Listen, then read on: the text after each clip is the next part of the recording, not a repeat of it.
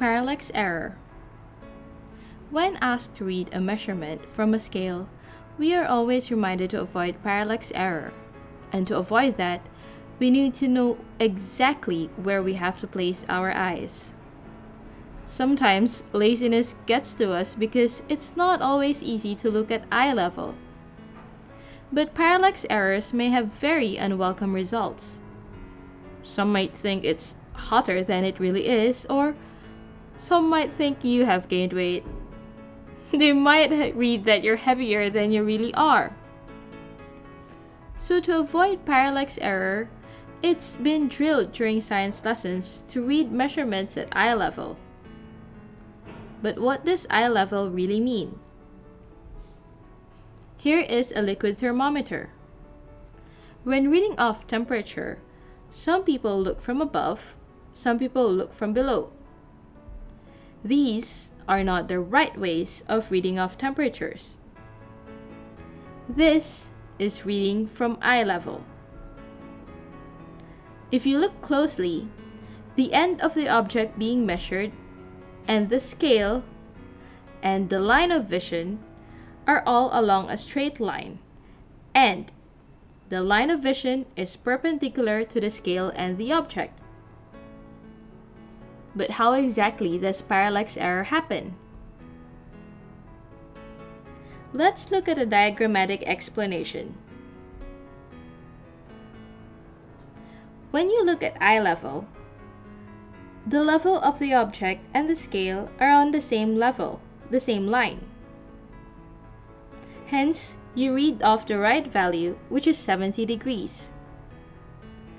But if you look from above, the line of vision looks like this. The object and the scale are at an angle. Hence, the end of the object appears to be aligned to 68 degrees. This is parallax error. Similarly, if we look from the bottom and draw the line of vision, the object and the scale are still at an angle. Now, the object is seen aligned to 74 degrees. So, does looking from below necessarily result to getting a higher reading than the actual value? Well, not necessarily. In this setup, the object being measured is between the eye and the scale. But what happens if the scale is now between the object and the eye?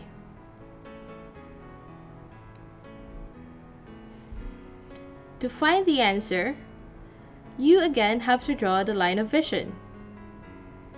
If you look at your diagram, the line of vision crosses at 66 degree mark. Now this gives you a lower value than the actual value. Whether parallax error results to a higher or a lower reading depends on the position of the eye, the scale, and the object. To get the right answer, you need to draw the line of vision to be sure if you're getting a higher or a lower reading. That's it!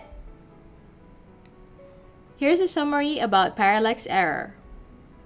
Parallax errors result in inaccurate readings, Readings might be higher or lower than the actual value, and they depend on the position of the eye, the scale, and the object. However, parallax error can be easily avoided by reading at eye level. So don't go around reading with parallax error. That's the end. Request more videos by commenting below or email me at inspiringsciencegeek at gmail.com. Till next time!